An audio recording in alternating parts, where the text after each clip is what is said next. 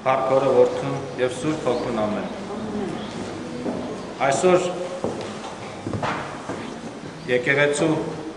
օրացույցի մեջ գրված է երկրորդ ծաղկազարդ եւ եկեղեցին նշում է Քրիստոսի հաղթական մուտքը երկնային Երուսաղեմ։ Այնպես պատահեց, որ ծաղկազարդի քարոզնել է ես քարոզել եւ հիմա երկրորդ ծաղկազարդի քարոզն էլ պետք է պետք է քարոզենք եւ պետք է կարդանք Այստեղ ես նշել եմ մի քանի հատված Աստվածաշնչից, բայց գլխավոր ընթերցումը երկու սաղմոս պետք է կարդանք, երկուսն էլ մեսիական սաղմոս սաղմոսներ են։ Առաջի սաղմոսը սա 24-րդ սաղմոսն է, որ միասին պետք է ընթերցենք։ Փառք Հորը, Որդուն եւ Սուրբ Հոգուն ամեն։ Տիրոջն են երկիրն ու նրա լիությունը, աշխարհն ու նրա բնակիչները։ Քանի որ նա ինքը ծովերի վրա հիմնեց ու գետերի վրա հաստատեց այն։ Ով է բարձրանալու Տիրոջ լեռը, կամ ով է կանգնելու նրա սրբավայրում։ Նա որ մաքուր ձեռքեր ու բասիր սիրտ ունի, ով իրանց նույնայնության չի տվել ու նենգությամբ չի երթվել։ Նա Տիրոջից օրհնություն է ստանալու ու իր փրկության Աստծուց արդարություն։ Սա այն սերունդն է, որ փնտրում է նրան, որ փնտրում է քո երեսը, ով Հակոբի Աստված։ Ով դռներ, գլուխներդ վեր բարձրացրեք,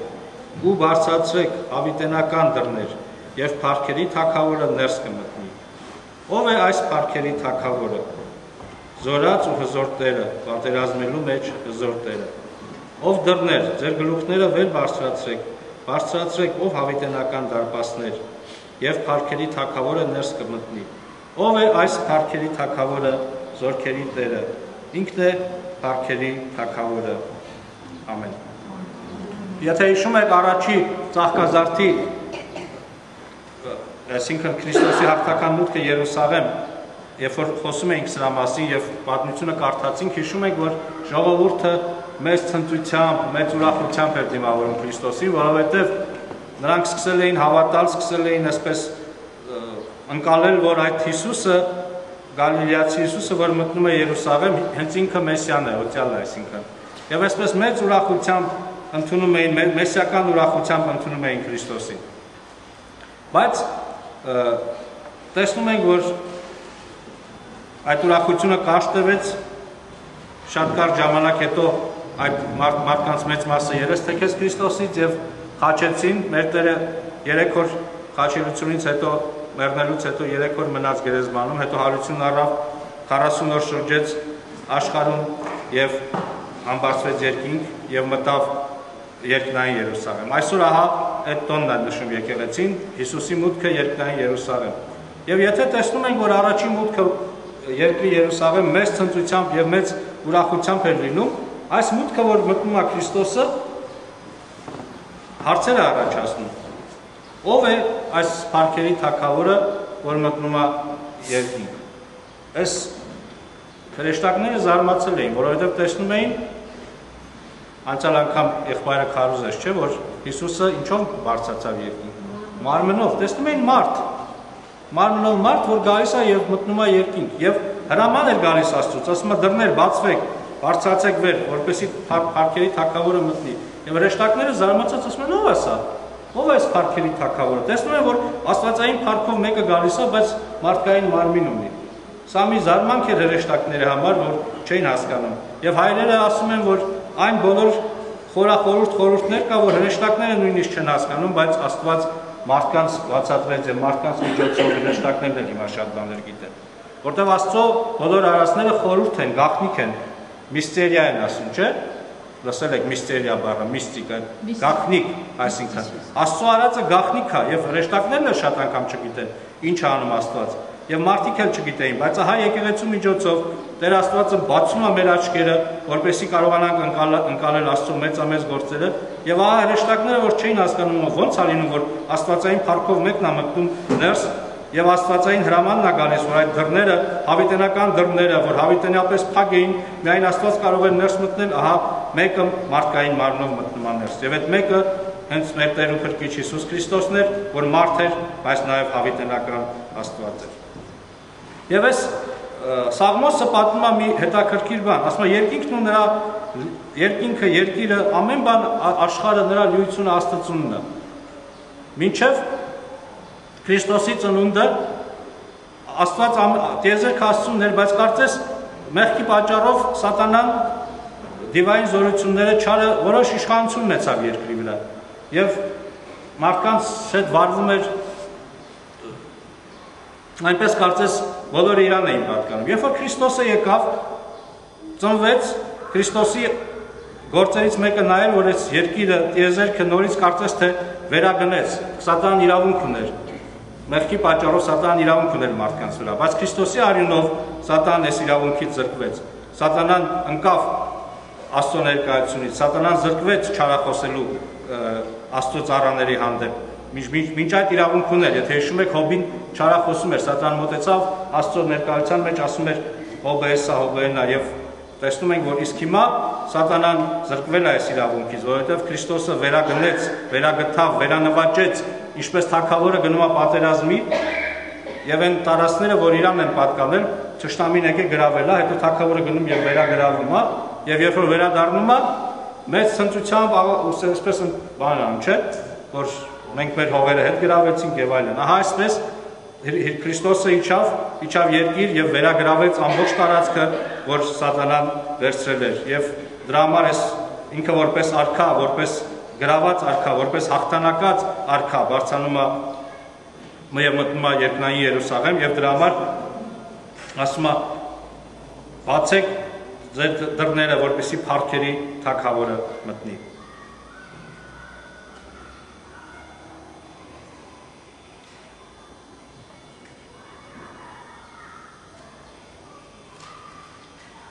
Որս Կարաքելոցում Պետրոս Արաքյալը մի հետաքրքիր բան ասում Կորնելիոսի։ Եվ թե ինչպես Աստված օծեց Հիսուս նազովրեցուն Սուրբ Հոգով ու զորությամբ, որ շրջեց բարի քանելով ու սատանայի կողմից բոլոր ճնշվածներին բժշկելով, քանի որ Աստված նրա հետ էր։ Եվ մենք վկա ենք այն ամենին, որ նա կատարեց Եփրեյանների երկրում եւ Երուսաղեմում ում սպանեցին փայտից կախելով։ Նրան Աստված երրորդ օրը հարություն տվեց եւ բացահայտորեն ցույց տվեց նրան։ Եվ այսպես Պետրոս Արաքյալը Կորնելիոսին բացատրում է մի հետաքրքիր բան, ասում Աստված օծեց Հիսուս Հիսուս Նազովրեցուն։ Ինչ էր այս օծությունը։ Օծություն եբրայերեն մի բառ է, որ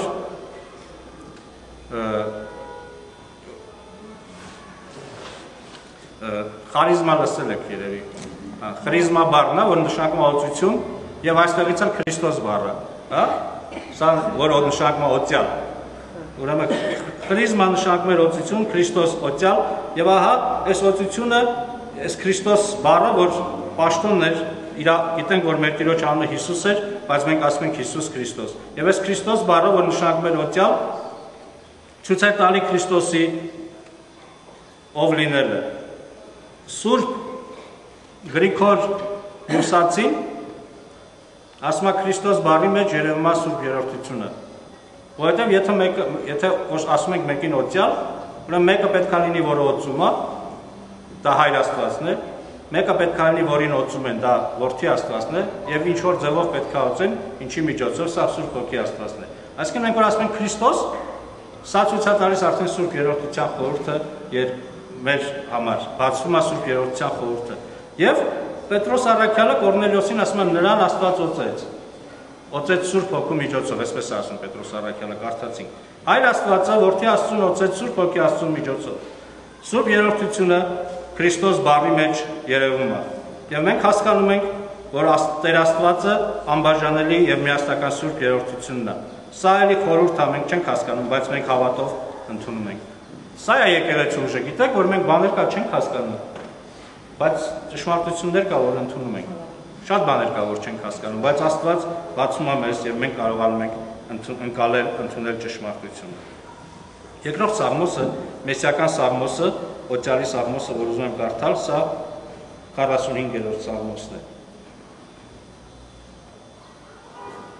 Իմ սիրտը բարի նյութով է հորդում, Ես արտասանում եմ արքայի մասին, իմ շարադրանքը լեզուս ճարտար գրիչի գրիչ է։ Դու մարդկանց որդիներից ավելի գեղեցիկ ես, քո շուրթերից շնորհք է հոսում։ Դրա համար էլ քեզ Աստված օրհնեց Հավիտյան։ Կապիչ սուրդ մեջքիդ, ով հզոր, քո փառքով ու քո վայրչությամբ։ Ու քո մեծափառության հաջողությամբ ձիավարիր, հանուն ճշմարտության ու հեզության եւ արդարության ու քո աճ ձեռքը քեզ ահավոր բաներ կսովորեցնի։ Քո նետերը սուր են թակավորների թշնամիների սրտի մեջ։ Ժողովուրդները քո տակն են ընկնելու։ Ով Աստված, քո գահը հավիտյանս հավիտենից է, քո թակավորության գավազանը ուղության գավազան է։ Դու արդարությունը սիրում ես, իսկ անօրենությունն ատում։ Դրա համար էլ Աստված, քո Աստվածը, քեզ ուրախության յուղով օծեց քո ընկերակիցներից ավելի։ Քո բոլոր հանդերձներից զմուրս ու հալվե եւ կասիա է բուրում, փողոսկրյա պալատներից, որով քեզ ուրախացրին։ Արքայադուստրերը քո պատվավոր տիկնանց մեջ են, թակուին քո աչ կողմն է կանգնում, ոփիրի ոսկով զարդարված։ Ով դուստր, լսիր ու տես եւ խոնարհի խոնարհիր քո ականջը, նաեւ մոռացիր քո ժողովրդին ու քո հորտունը։ Այն ժամանակ թակավորը մեծապես կցանկանա քո գեղեցկությանը, քանի որ նա է քո Տերը, պաշտիր նրան Եվ Տիրոսի աղջիկն այնտեղ է լինելու իր ընծայով, ժողովրդի հարուստներն անգամ խնդրելու են քո շնորը։ Թագավորի աղջիկը ներքուստ ամբողջապես թառավոր է, նրա հանդերձը ոսկեհուռ է, ասեղնագործ հանդեսով է բերվելու թագավորի մոտ։ Նրան հետևող քույս ընկերակիցները քեզ մոտ են բերվելու։ Ցնծությամբ եւ ուրախությամբ են բերվելու։ Նրանք թագավորի պալատն են մտնելու։ Քո հայրերի փոխարեն որդիներդ են լինելու։ Ամբողջ երկրի մեջ նրանց իշխաններ ես դարձնելու Քո անունը հիշվելու է բոլոր սերունդների մեջ։ Դրա համար քեզ ժողովուրդները գովելու են հավիտյանս հավիտենից։ Եթե հիշում եք առաջի ծաղկազարդի ժամանակ կարդացին երկերքոցից եւ տեսանք ինչպես էր եկեղեցին, որ կնոջ տեսքով էր այդպես խորհրդանշում էր այդ կինը այդ հույսը, որ պետք է ամուսնանար Փեսայի հետ, Փեսան խորհրդանշում էր Քրիստոսին, այստեղ նույն բանն է գրած այդ մեսիական սաղմոսի մեջ, ասում ով դուստր լսիր եւ տես խոնարիր քո քոականջը մոռացիր քո ժողովրդին քո հորտունը այսինքն մեր հին կյանքը մենք որպես եկեղեցու զավակներ պետք է մոռանանք եւ հիմա մտնենք թակավորի ներկայության մեջ պաշտիր ասма նայ քո տերը պաշտիր նրան թակավորի աղջիկը ներքուստ ամբողջապես փառավոր է մեր ներ, ներսը որ հոգին է մեր Սա է թակավորի աղջիկը, մեր մեր ներսում դրված հոգին։ Մենք նայում ենք մարմնին, մարմնավոր թերություններ ենք տեսնում իրար վրա, բայց եթե մեր հոգին մաքուր է, մեր հոգին սուրբ է, փառավոր է ամբողջապես եւ մենք ամբողջությամբ փառավոր ենք։ Բայց այսօր ուզում եմ մեր ուշադրությունը դարձնենք այս բաների վրա, այս տողերի վրա։ Ով Աստված, քո գահը հավիտյանս հավիտենից է։ Քո թակավորության գավազանը ուղության գավազան է։ Դու արդարությանը արդարությունը սիրում ես, իսկ անօրենությունը ատում։ Դրա համար էլ Աստված, քո Աստվածը, քեզ ուրախության յուղով ոցեց քո ընկերներից ավելի։ Քո բոլոր հանդերձներից զմուրս ու հալվե եւ կասիա է բուրում փողոսկրյա պալատներից, որով քեզ ուրախացրին։ Եվ դրա համար էլ Աստված, քո Աստվածը քեզ ուրախությամբ յուղով ոցեց, ուրախության յուղով։ Սուրբ Հոգու ոցությունը պետք է մեզ ուրախություն բերի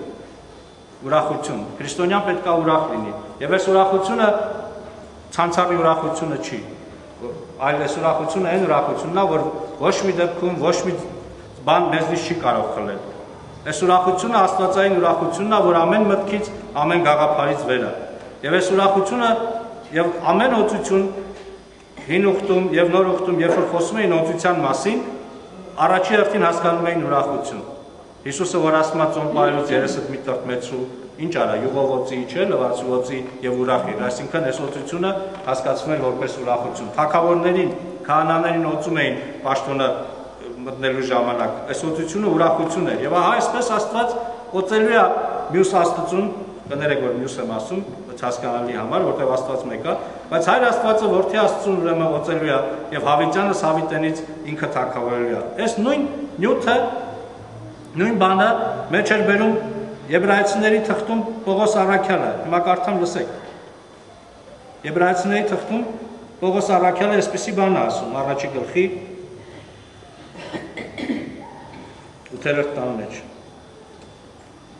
Մի քիչ վերևից կարդանք։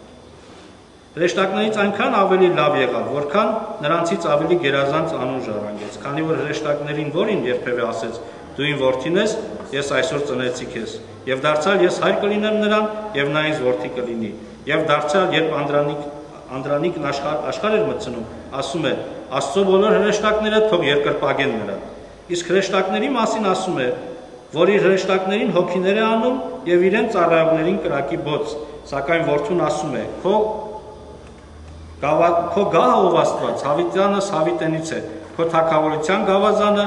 արդարության գավազան։ Տեսեք, Սաղմոսնա մեջբերում ուղիղ Սաղմոսնա մեջբերում Պողոս Արաքյանը 45-րդ Սաղմոսը Որդուն ասում է. «Քո գահը ով Աստված, հավիտյանս հավիտենից է, քո թակավորության գավազանը արդարության գավազան։ Դու արդարությունը սիրեցիր եւ անօրենությունը ատեցիր։ Այս պատճառով ով Աստված, քո Աստվածը ուրախության յուղով ոցեց քեզ ավելի, քան քո ընկերակիցներին։ Եվ դու ով Տեր, սկզբից երկիրը հիմնեցիր եւ երկինքները քո ձեռքի կորցնեն։ Դրանք պիտի կորչեն, բայց դու կմնաս եւ բոլորը լաթի նման պիտի մաշվեն։ Եվ վերարկուի պես պիտի ոլորես դրանք եւ դրանք պիտի փոխվեն, բայց դու նույնն ես եւ քո տարիները չեն պակասելու։ Տեսեք, Պողոս Արաքյալը այս Սաղմոսի այս հատվածը մեջ ա բերում, որպեսզի ապացուցի եբրայացիներին, այսինքն հрьяաներին, որ այս Սաղմոսը գրվել էր Քրիստոսի համար։ Եվ Քրիստոսը հենց այդ նույն Աստվածն էր, որի մասին Սաղմոսում ասում էր, քո Աստվածը ով Աստված քեզ օծեց ուրախության յուղով, ուրեմն քո ընկերներից ավելի։ Եվ տեսնում ենք, որ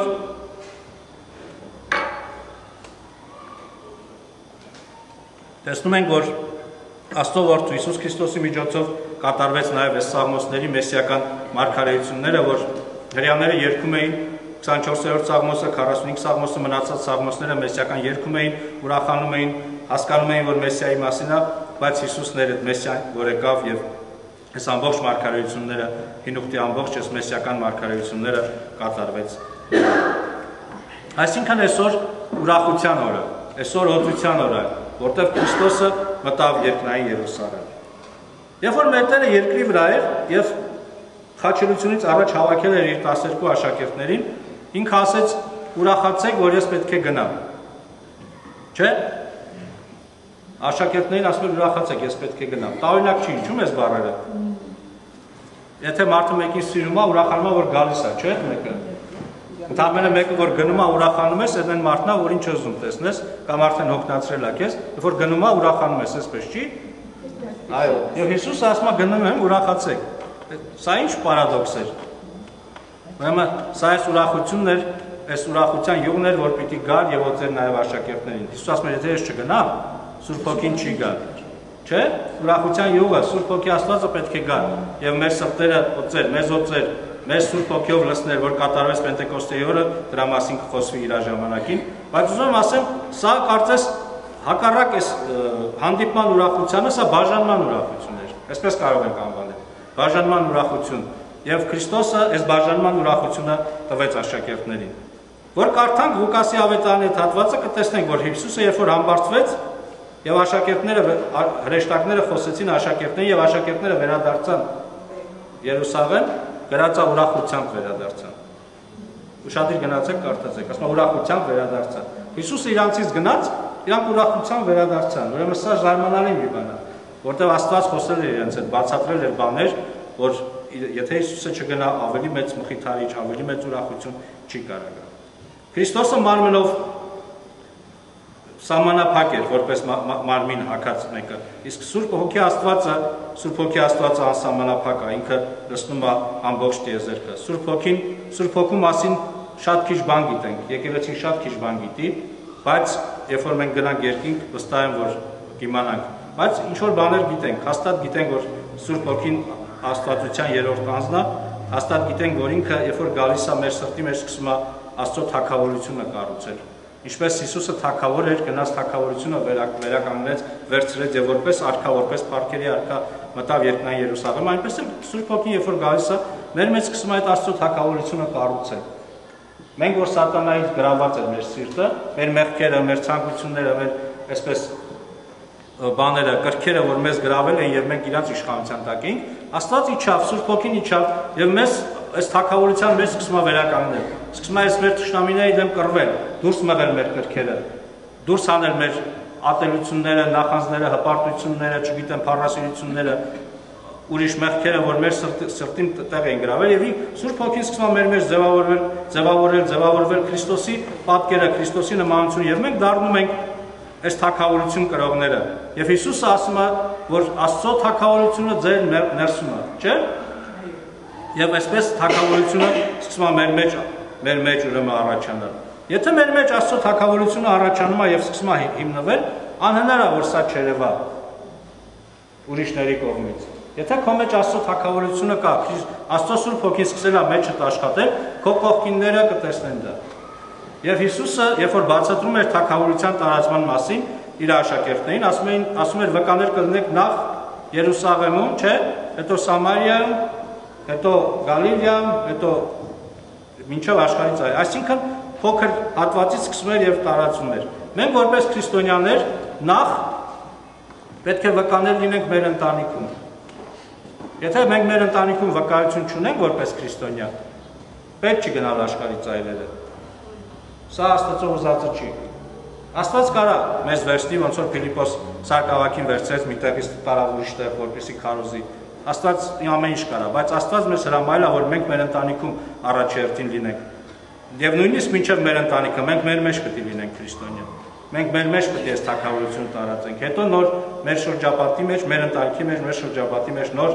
այսպես աշխարհի ծայրերը։ Ուրեմն մի զարմացեք, որ այսօր մեր ժողովուրդը, մեր պետությունը հեթանոսական խավարի մեջ է։ Մի մտածեք, թե ինչ է, ինչ է այսպես։ Հաստատ իմացեք, որ դրա նրանից է, որ մենք թակավորությունը կրողներ չենք։ Ասում եմ մենք, որտեղ մեզ Աստված է սպաշտոնը տվել։ Աշխարհի իմաստուններին, աշխարհի հզորներից պահեց մեր նման տկարներին տվեց։ Եվ Աստված զորություն է տալիս, որպեսզի մենք այս թակավորությունը մեր մեջ ունենանք։ Եվ Աստված ամեն բան տվել է, Հիսուսը ամեն բան արել է։ Մնում է, որ մենք համաձայնվենք եւ վերցնենք։ Եվ երբ երկոցի մեջ որ կարդացինք անցյալ անգամ հիմա ասում է երբ որ ես իմ սիրածի կողքը կանգնեցի իր նարդոսի բույրը չէ ին վրայից բուրերից եւ այլ եւ այլ։ Եթե մենք Քրիստոսի հետ լինենք, ահա այս բույրը որ կարդացինք նաեւ այս Սաղմոսում քո բոլոր հանդերձներից զմուրս ու հալվե կասիայի բուրում եւ այլն։ Այս նույն բույրը, այս նույն Քրիստոսի հոտը, այս անուշ հոտը, օծության հոտը, երբ որ օծում են, հոտ է գալիս, չէ, անուշ հոտ է գալիս մերոնի հետ թեկուս հենց մկրտության ժամանակ որ մերոնով ոցում են անուշ հոտ է գալիս։ Այս հոտը, այս յուղի հոտը Սուրբ Հոգու ոցության հոտը պիտի տարածվի։ Ասում է ձեր հոտը անուշահոտությունը պիտի տարածվի աշխարհի մեջ, ասում մեզ ավետարանը, Սուրբ ավետարանը։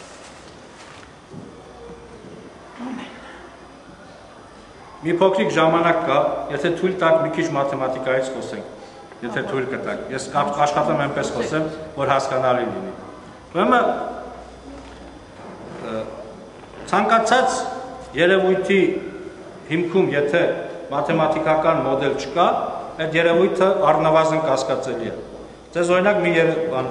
այսինքն մաթեմատիկական ցանկացած գիտություն, ցանկացած բնագավառ մաթեմատիկան ինքը մոդել ունի։ Նույնիսկ այն անգամ խոսում ենք երաշտության մասին, որ երաշտությունը մաքուր մաթեմատիկա է։ Ընդհանրապես 7 հատ նոտաներ են, չէ՞։ Եվ եթե ամեն մի նոտան միակ ծնկ, ծնկ, ծնկ անեք, կզզվենք, չէ՞։ Բայց այդ նոտաները տարբեր ձևով գումարելով, հանելով, այսպես ասած, բազմապատկելով իրար երաժշտություն է ստացվում։ Եվ ամեն բան, ամեն բան իր մաթեմատիկական մոդելն ունի։ Ես վերջերս մի քանի տարի առաջ մի հատ մարդ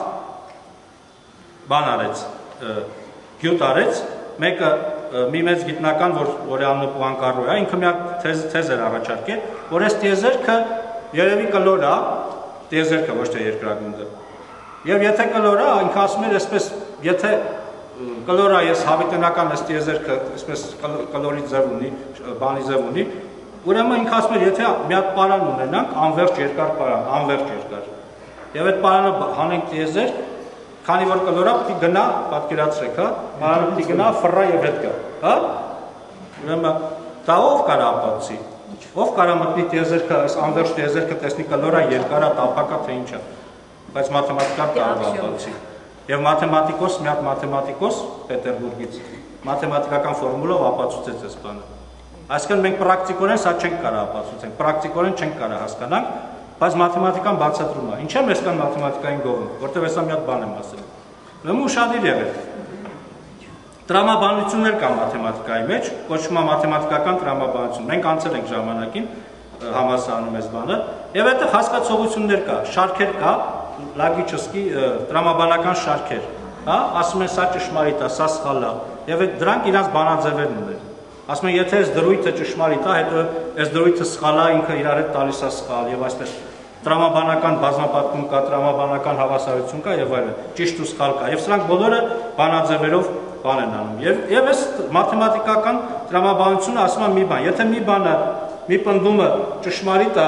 եւ մի հատ ուրիշ պնդում կա, որը սրան հակասում է, հմ, եւ կարող ես էսի ապացուցել, եւ ուրեմն այս պնդումը ճշմարիտ չի, չէ՞, այսպես չի։ Տրամաբանությունը ձեզ ասում է, չէ՞, եթե ես ասում եմ, այս ջուրը մազութ է, չէ՞, դե ես ասում եմ ջուր է, բայց ինչ որ մեկը գալիս եւ բացը ապացուցում է, որ սա մազութ է, ուրեմն ասում ենք լավ, ուրեմն ես սխալվել եմ, սա ջուր չի, մազութ է։ Այսինքն տրամաբանորեն հասկանալի է։ Բայց այս տրամաբանության մեջ մի հատ հետաքրքիր բան կար ասում էր, եթե կա մի պնդում եւ կա մի հակասող պնդում, բայց այս հակասող պնդումը ներառում է այս ճշմարտի մեջ, այս պնդման մեջ ներառվում է նաեւ հակասող պնդումը, սա բացարձակ ճշմարտությունն է։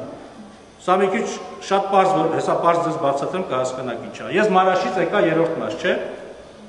Հիմա ես այնտեղ որ ասում եմ, այս ճանապարհը տանում է դեպի երրորդ մաս։ Ճիշտ եմ ասում։ Վարդաններ կարա այդտեղ կանգնած ասի, այս ճանապարհը Մարաշ է տանում։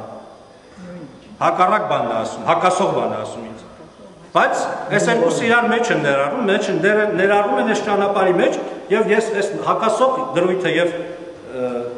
այս ճշմարիտ դրույթը իրար հետ են եւ ճանապարհը այս հարցը լուծում է։ Այսինքն հակասությունը եւ հասկանալի է ինչ եմ ասում, թե չէ։ Այո, པարզ է, չէ։ Եվ այսպես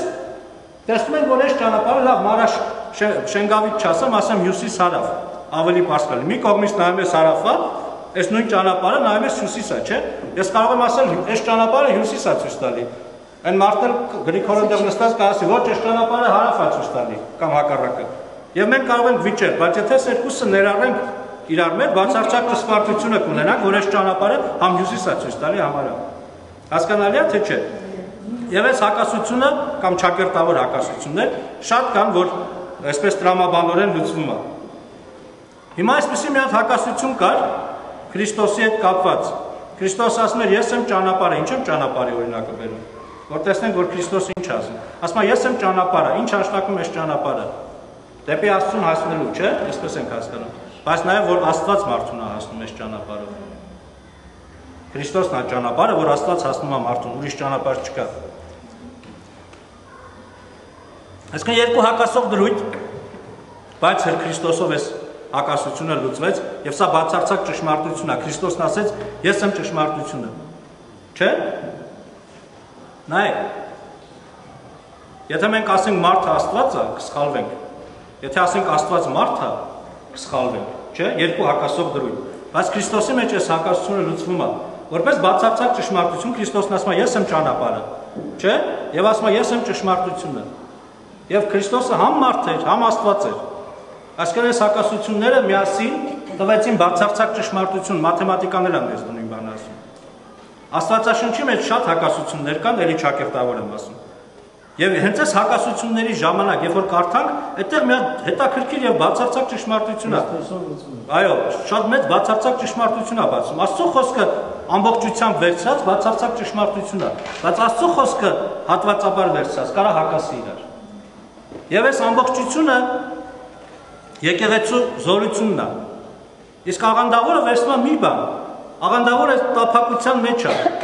Մի բանը վերցնում է եւ ասում է սա է։ Եվ սա վերցնում է մի հատվածը, մի հակասող դրույթը վերցնում է որպես բացարձակ ճշմարտություն, բացարձակ ճշմարտությունից մի բանը առանձնացնում է եւ սկսում է գնալ այսօրության։ Մի քանի հատ բաներ ասեմ, կտեսնենք Աստվածաշնչից։ Օրինակ, Պողոս Արաքյալը ասում է գործերը հեչ, հավատով ապրկությունը։ Հիշում եք։ Հակոբոս Արաքյալը ասում է հավատը հետ գործերով ապրկություն։ Հակասող դրույթներ են, չէ՞ իրար։ Բայց ո՞նց է այս լուծվում։ Ասում է ճշմարիտ հավատը առանց գործերի մեռած է, չէ՞։ Ոնց ասում ենք բացարձակ ճշմարտությունը հասկանում ենք այս երկու հակասող, կարծես թե հակասող, բայց այս միավորման տեղում տեսնում ենք այս բանը։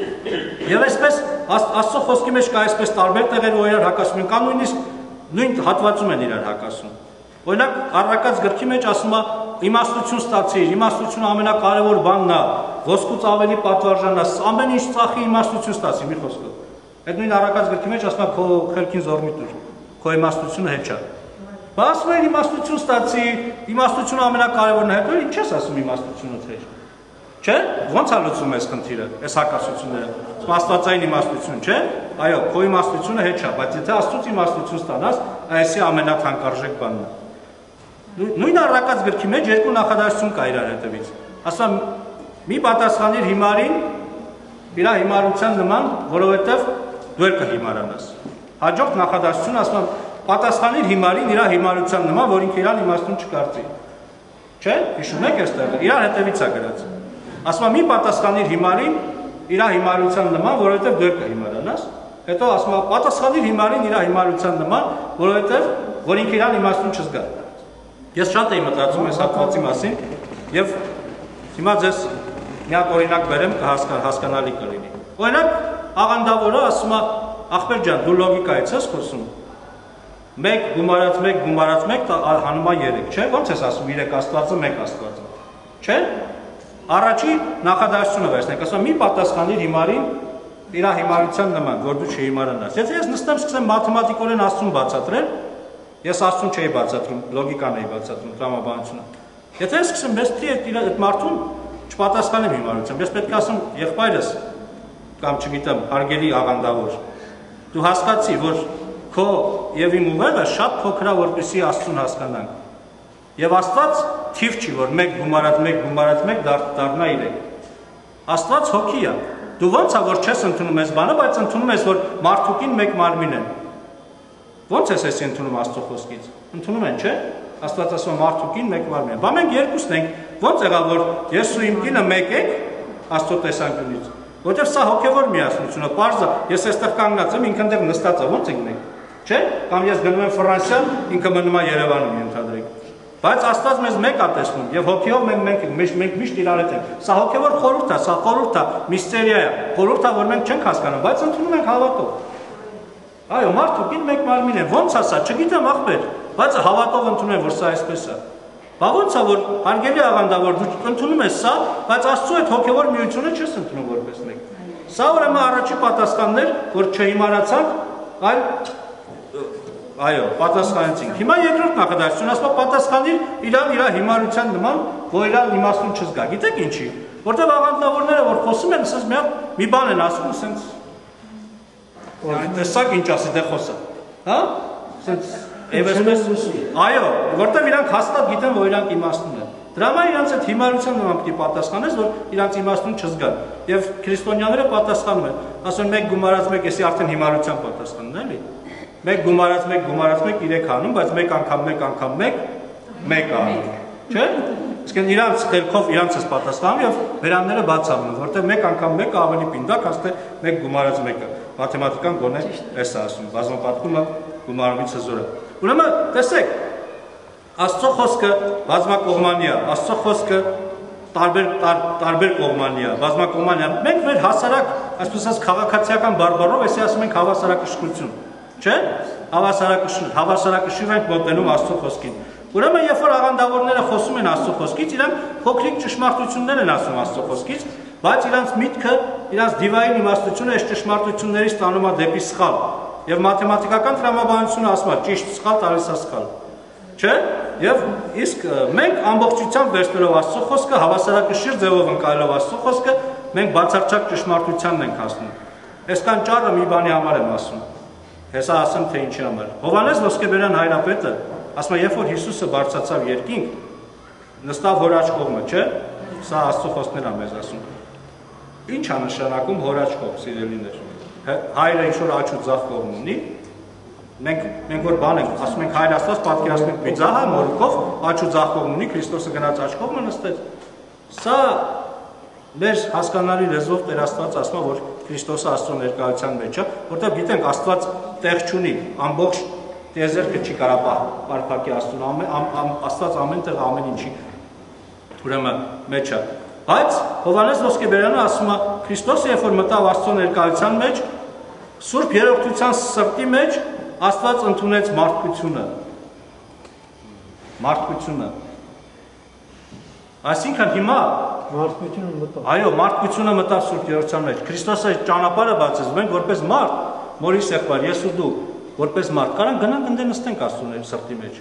Պատկերացնում ես ինչ արեց Քրիստոսը մեզ համար։ Այո, այո։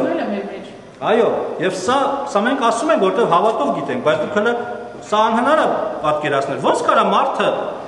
լինի Աստծո ներկայության մեջ։ Հիշում եք Մովսեսը, որ ասեց Աստծուն՝ «Մի հատ տենամ քեզ», ինչ ասեց Աստված։ Ասեց, ով որ ինձ տենա կմեռնի, չէ՞։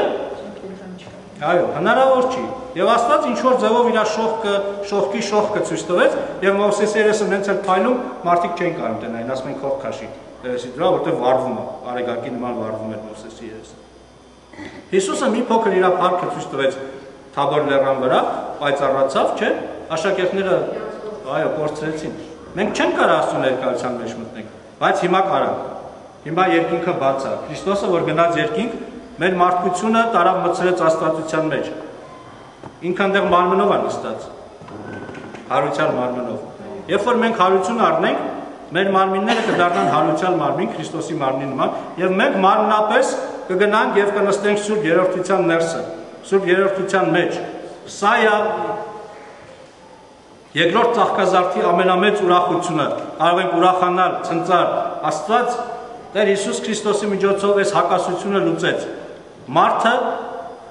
որ անհնար էր Աստծո ներկայության մեջ լինել, հիմա հնարավոր դարձրեց։ Այս հակասությունը դարձավ մեզ համար երկու հակասություն, դարձավ մեզ համար բացարձակ ճշմարտություն։ Ինչպես Աստված Քրիստոսի միջոցով մտավ աշխարհ, չէ՞, մարդը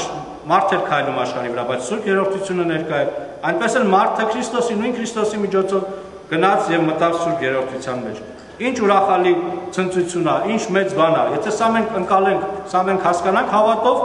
հավատացնում եմ ձեզ, ամեն դժվարություն, ամեն նեղություն, ամեն այսպես չարիք, որ Աստված չանի մեր այդ պատահի, մենք կարող ենք ուրախությամբ այս բաները հաղթարել, որտեղ գիտենք, որ մենք Սուրբ Երրորդության սրտի մեջ հիմա նստած ենք։ Հենց հիմա հենց հիմա Օգոստոս հայրապետը ասում է, ես որ խոսում եմ, գնում եմ, մենք իրաձգում ենք, բոլորս Քրիստոսի միջոցով, որպես Քրիստոսի մարմին, Սուրբ Երրորդության մեջ նստած ենք։ Հիմա Աստված մեր պահել է, մենք Աստծո մեջ ենք։ Իմացեք այս զորությունը, իմացեք այս մեծությունը, այս նվերը, որ Տեր Աստվածը տվեց մեզ, եւ մոռացեք մեղքերի մասին, մոռացեք անօրենությունների մասին, որովհետեւ մենք այս արխայությունից, այս ներկայությունից մեզ զրկելու ենք եւ գնանք նորից մտնենք սատանայի իշխանության տակ։ Թող Աստված մեզ ողորմի, օրհնի եւ այս ուրախության յուղով օծի մեր բոլոր ընկերներից ավելի, որպեսզի մեր մեջից էլ դուրս գա այս ուրախությունը, այս օծությունը, այս Քրիստոսի լույսը եւ տարածվի աշխարհի մեջ։ Ամեն, ամեն։ Քրիստոսի լույսը, սրա մասն էլ խոսենք եւ ավարտենք։ Լույսը ինչ գույնի է։ Չենք իմանում։ Անգույն է, չէ՞։ Պայմանականորեն ասենք սպիտակ, լավ։ Որ բեկվում է յուղ։ Ապրես նորից եղբայր։ Բայց որ բեկվում է 7 գույն է, չէ՞։ Այդ ծիածանը որ կա, դա մի գույն է։ Մի լույսը, որը մեկը 7 ձևով արտահայտում, 7 գույն, ծիածանի գույները։ Սա կոչվում է սպեկտր, չէ՞ նորից եղբայր։ Այս սպեկտրը 7 գույնը ծիածանի 7 գույններն են, իրար հետ միասին դառնում են 1։ Հիշում եք Աստծո հոգին։ Քանի հոգի էր։ Աստծո հոգին 7 հոգի էր, չէ՞, բայց այս 7-ը մեկ է։ Հիշում եք թե չէ։ Հայտնության մեջ ասում Աստծո 7 հոգիները։ Եսայի մարգարեության մեջ ասում Աստծո վախի հոգին, ինչի հոգին ասում էլ։ Իմաստության հոգի եւ այլն 7-ը բանանշում։ Ուրեմն նայեք, նորից այս հակասությունները էլի որ մեկը բայց 7-ա 7-ա մեկը չէ ուրեմն տեսնում եք երկու հակասություն իրար հետ եթե մեկը մյուսի մեջ ներառում է բացարձակ ճշմարտություն ենք իմանում եւ այս լույսը նաեւ երկու տեսակ է. Ֆիզիկան մեզ սովորացնում է լույսը մասնիկների հոսքար եւ լույսը նաեւ ալիք է չէ այսպես չի այո տեսնում ենք որ սա էլ կարծ որ Հիսուսը ասաց ես եմ աշխարհի լույսը չէ Քրիստոսը կարծես այս Աստծո 7 հոգիները, Աստծո հոգին ունենալով իր մեջ, նաև երկու ձևով էր հանդես գալի, որպես Աստված եւ որպես մարդ։ Ինչպես նաև լույսը հանդես է գալի երկու ձևով։ Այս բաները պատահական չեն։ Աստված որ ֆիզիկական աշխարհը ստեղծեց, պատահական չարեց այս բաները։ Այս բոլոր մեր ֆիզիկական օրենքները, ֆիզիկական այս նյութական աշխարհը մեզ միշտ բացում է երկնային գաղտնիքներ։ Եթե մենք ուշադիր հետևենք աշխարհին, մենք կտեսնենք, որ երկնային գաղտնիքներ առա։ Իհարկե մարդը չի կարա հիմա ամեն քայլափոխին մտածի, ասենք ջուրը խմելուց մտածի, այս ջուրը երկու հատ ջրածին է, մի հատ թթվածին, գժվենք, ասենք, որ տես ամեն ինչին նայենք, տես ես իմ ինչ բաներ մտածենք, խելագարվենք, բարձա։ Հա, բայց ուզում եմ ասեմ, բայց բայց գիտնականը որ մտածում է, որ քայլում է ինքը հասկանում է, թե ասենք ոնց է, ինչա։ Այս բաները կարևոր են, որպեսզի մենք այս նյութերը, այս ֆիզիկական այս երևույթները ուսումնասիրենք եւ հասկանանք երկնային երկնային բաները։ Այս այս ամեն բաները Աստված տվել է մեզ։ Եթե մենք ուզենանք մեր միտքը բացենք, եթե մենք ուզենանք Աստծուն հնազանդվենք, Աստված ամեն ինչով մեզ կբացատրի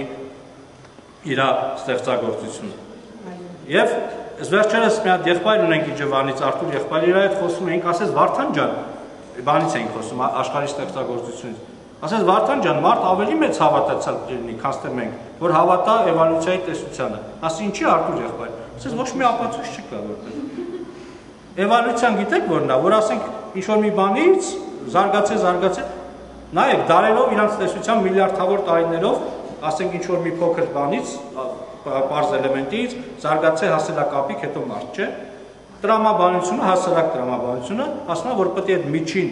օղակները լինեն, չէ՞։ Է կապիկի բաները հնացոներ գտնում են, դինոզավրի հնացո գտնում են։ Ես ինչ այդ միջինները չկա։ Ոնց կապիկը եղել է դարերով, հիմա էլ կա, ոնց մարդ եղել է դարերով, հիմա էլ կա, միջինը չկա։ Չկա, մի հատիկ գոնե ձևի համար չեն գտել, մի հատիկ։ Բայց մի հատիկ էլ որ գտնեն, դա ապացույց չի, որտեղ դի լեցուն ուներ երկիրը այդ միջին միջանկաներով։ Ուրեմն տեսանք, որ իրոք ավելի մեծ հավատ, ավելի մեծ հավատ պետք որ հավատաս էվոլյուցիային, քան թե որ հավատաս որ Աստված է ստեղծել։ Ուրեմն մարդիկ ավելի մեծ հավատ ունեն էվոլյուցիային հավատալով։ Մեզնից մեծ է իրանց հավատը։ Գոնե մենք մեր ապացույցները ունենք, Աստված ամեն օր ապացուցում է, չէ՞։ Այս տիեզերքի այս ամեն ինչ էս կարգու կանոնը որ տեսնենք, հասկանանք, որ միտք է ստեղծել, ստեղծագործ զորություն է ստեղծել։ Մարդիկ ուրեմն ամեն բան Աստված տվել է մեզ հասկանալու, բայց եթե մարդը չի ուզում հավատա, չի հավատա։ Եթե մարդուն դնես տրամաբանորեն ամեն ինչ ապացուցես, եթե ինքը չի ուզում հավատա, չի հավատա։ Դրա համար եմ ասում, մենք պետք է այդ լույսը մեր մեջից ցույց տանք այս կյանքը, թակավորության կյանքը մեր մեջից ցույց տան։ Մարդիկ տարբեր բաներ ունեն, տարբեր գաղափարներ ունեն եւ իրանք սիրում են իրանք գաղափարները։ Եվ մենք չենք կարող մեր գաղափարներով իրանք հաղթենք։ Աստծո խոսքը որպես բացարձակ ճշմարտություն մարդու սրտին ամենախորը խորքում այս ճշմարտության ծարավը կա։ Եթե մենք Աստծո խոսքը որպես բացարձակ ճշմարտություն իրանք ասենք, ոչ թե մեր մեկնաբանություններով, մեր բաներով։ Եվ մեր կյանքը ցույց տա, որ մեր ճշմարտությունը ճշմարտությունն է մեր համար, հավատացնում եմ ձեզ սերելի քույրերս, եղբայրներս, մարդիկ այս ճշմարտությանը ծարավ են։ Մարդկանց հոգիները այս ճշմարտությանը ծարավ են։ Լավ, նայում եմ, որ ժամանակը վերջացավ, ես էլ իմ խոսքն եմ ավարտում, բայց այսօրվա ամենակարևոր բաները ուզում ենք ուզում ենք վերհիշենք։ Օծյալը Քրիստոսը, չէ՞, օծվեց Հայր Աստծո կողմից Սուրբ Հոգու միջոցով։ Եվ այս օծությունը այսօր Աստված տալիս է մեզ Սուրբ Հոգու միջոցով։ Մենք էլ կարող ենք Քրիստոսի նման, Հիսուսի նման, այսպես որպես օծյալներ, որպես Աստծո զավակներ քայլենք այս աշխարհի մեջ։ Մենք կարող ենք այդ օծության յուղը մեր վրա ընդունելով որպես Քրիստոսի հարց, որպես Քրիստոսի եկեղեցի այդ նույն բույրը տարածենք աշխարհում Քրիստոսի անունը կրում էր Սուրբ Երորդությունը, Սուրբ Երորդության գաղափարը իր վրա։ Մենք էլ որպես Աստծո ժողովուրդ կարող ենք Սուրբ Երորդությունը մեր միջոցով ցույց տանք աշխարհին։ Եվ վերջին ամենակարևոր բանը Քրիստոսը ճանապարհն էր, բացարձակ ճշմարտությունը, լույսը, որը մեզ տարավ եւ տեղավորեց Աստծո սրտի մեջ, Սուրբ Երորդության սրտի մեջ։ Մենք այսօր Աստծո մեջ ենք։ Սա է երկրորդ ծաղկազարդի ամենամեծ ավետիսը, ամենամեծ բարի լուրը, որ այսօր հայտնում ենք ձեզ, այսօր եկեղեցին հայտնում է մեզ։ Մենք այսօր Աստծո զավակներ լինելով մարմնապես որպես մարդ ներկա ներկա են գտնվում եւ հարությունից հետո հարության մարմնով ֆիզիկապես ներկա են գտնվելու Սուրբ Երրորդության մեջ։ Քրիստոսի մեջ, Աստծո մեջ։ Փառք Աստծո։ Ես ինքս չեմ հասկանում ոնց է սարնելու, անկեղծ խոստովանում եմ, բայց ես հավատով հավատում եմ սրան թող մեր հավատը, մեր փրկարար հավատը ոչ թե այդ էվոլյուցիան տեսության հավատը, այլ մեր փրկարար հավատը, որտեղ հավատներ շատ կան, բայց այս հավատը փրկության հավատը, փրկարար հավատը, թող մեզ փրկի ամեն ճարիքից, ամեն փորձանքից ու մեզ փառավոր Քրիստոսի փառավոր զավակները դարձնի։ Թող փառավորվի Սուրբ Երրորդությունը, Հայրը Որդին եւ Սուրբ Հոգին։ Ամեն։